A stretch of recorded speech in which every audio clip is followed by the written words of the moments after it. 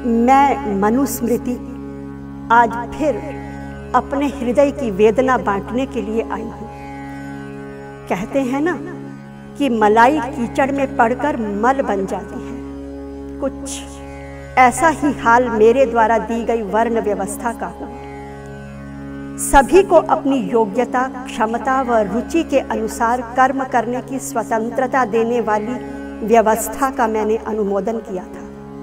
वह व्यवस्था समाज का उत्कृष्ट सुदृढ़ आधार सिद्ध होती यदि मिथ्या गाथाओं को भुलाकर मेरी व्यवस्था को स्वीकार किया गया होता।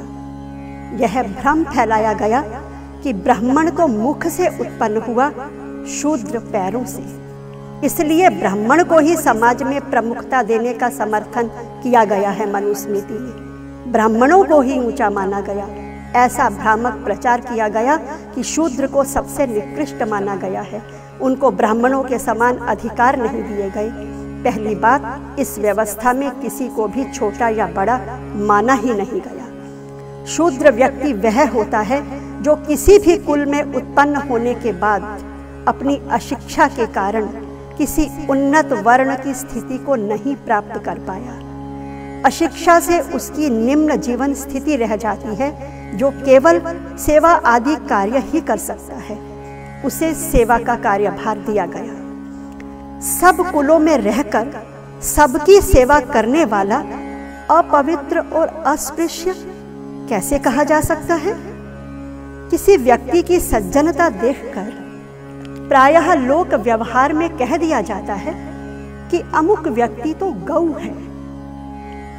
क्या इसका यह अभिप्राय है कि उस व्यक्ति की आकृति गौ जैसी है या उसके सींग, पूछ इत्यादि है?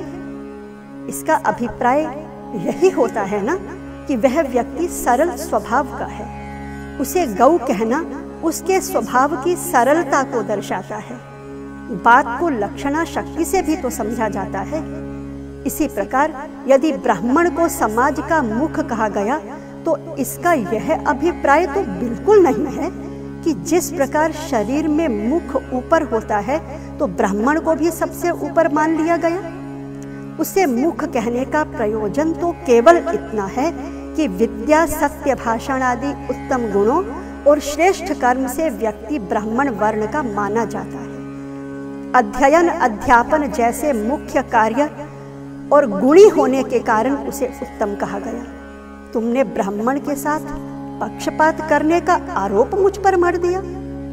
आधुनिक युग की स्थिति के साथ तुलना की जाए तो बताओ, किसी कम योग्यता रखने वाले व्यक्ति को किसी संस्थान का निम्न सेवक नियुक्त किया जाता है या उसे संस्थान का निदेशक बना दिया जाता है, प्रमुख बना दिया जाता है? पक्षपात का कुत्सित प्रचार करने से पहले तनिक मेरे द्वारा दी गई दंड व्यवस्था का भी अनुशीलन तो कर लिया होता। मैंने दंड व्यवस्था का विधान करते हुए कहा, अष्टापाद्यंतु शूद्रस्य स्तेये भवति किल विषम। षोडशैव तु वैश्यस्य द्वात्रिंशत् क्षत्रियस्य च।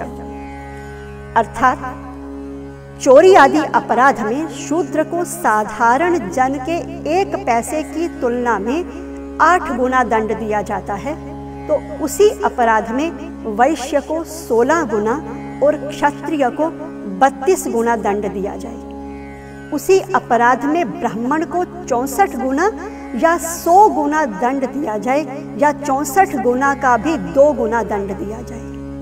ब्राह्मण से चतुष्षष्टि पूर्णम वापि शतम भवे द्विगुणा व चतुष्षष्टि तद दोष गुण विधि सह। अगर गुणों व श्रेष्ठ कर्मों के कारण ब्राह्मण को समाज में सर्वोच्च प्रतिष्ठा दी है तो उसे अपराध में अन्य वर्णों की अपेक्षा दंड भी अधिक ही दिया गया है।